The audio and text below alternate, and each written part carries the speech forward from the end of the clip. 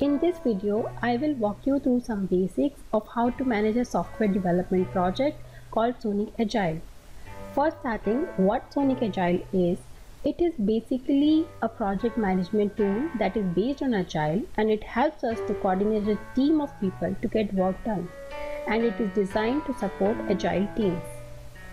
There are various features for SonicAgile, but what we are going to learn today is real-time backlog, tagging and filtering, iteration, real-time Kanban, tasks, epics and releases, agile estimation, time tracking, acceptance criteria, and storage by e. So without further ado, let's get started. If you have never used SonicAgile before, we start by creating a new account. Navigate to sonicagile.com and click on register button and you need to fill all of the fields here and get registered for SonicAgile. For example, if I already have an account, I need to go to my account like this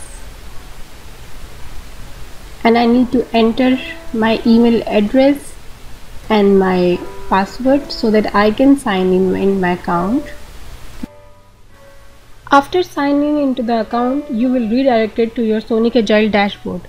To start a new project, you need to go to this menu and then you can go to project and you can add a new project. For example, if I will start with a new Android application project, then I need to click on create button.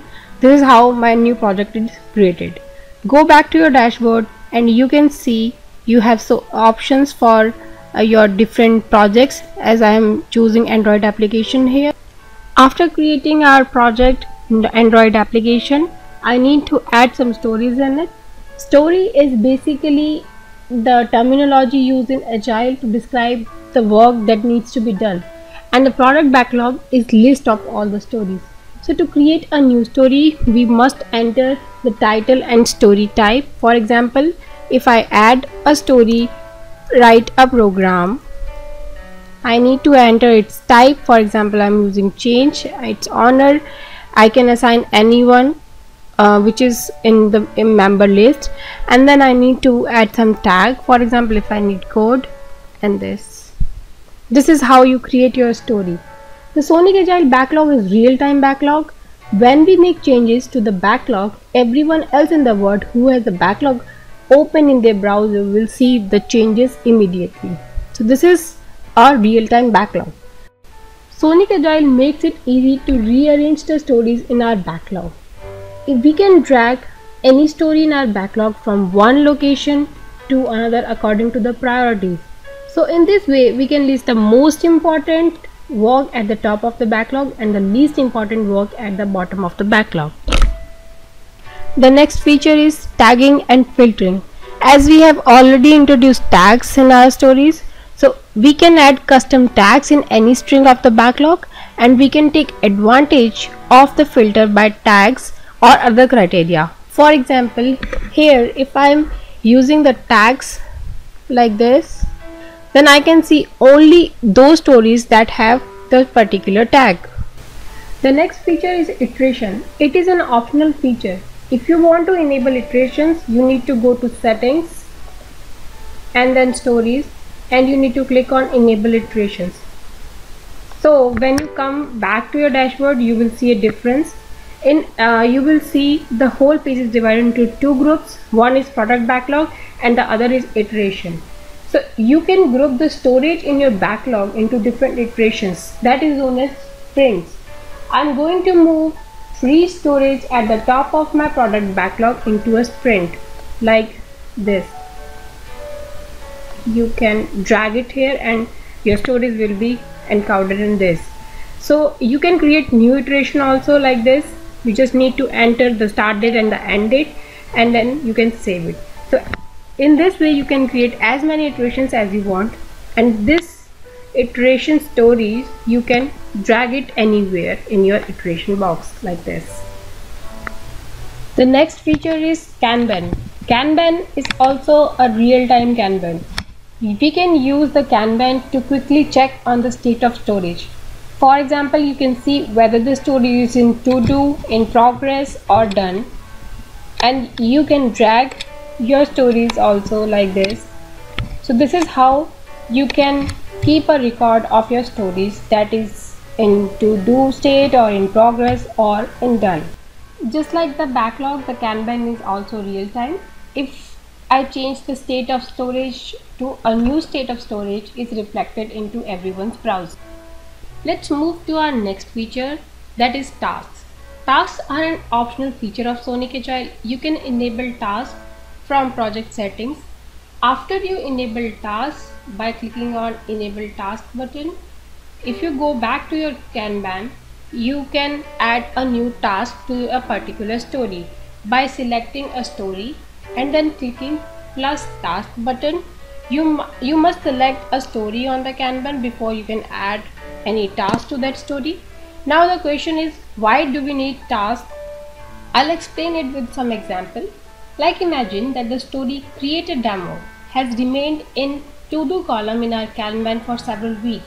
In that case, we might want to break the created demo story into several discrete tasks such as create the database or uh, implement the code for the demo and so on.